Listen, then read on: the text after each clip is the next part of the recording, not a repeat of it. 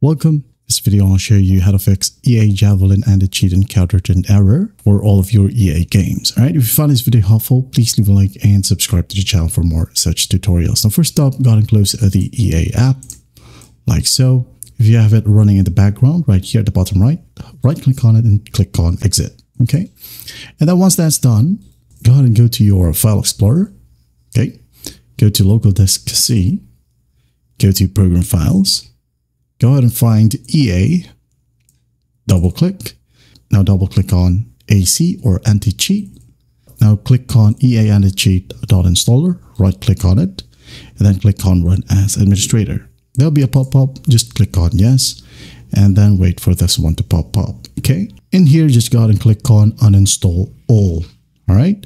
Click on it and there'll be a prompt, just wait for it to process. And then once done, you can now go ahead and close this one close everything. Now go ahead and open up your favorite browser. In here, just go ahead and find EA Javelin. Okay, like so. And then once done, click on the link that says how to install and troubleshoot EA Javelin. Okay, just click on it. And then scroll down and find this link. Click. Now save it wherever you want. It'd be on your desktop, hit on save, and just wait for the download process to finish. Once done, here we have the installer. You can now go ahead and close your browser. Double click on this one.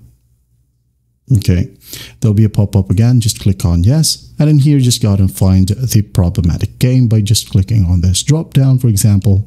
It could be Battlefield 6 right here, which is pretty problematic. And then just go ahead and click on install. Okay, there you go.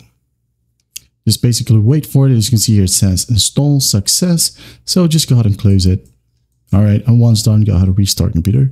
And after that, everything should work perfectly fine now. And that is it. I hope this video helps. I'll see you in the next one.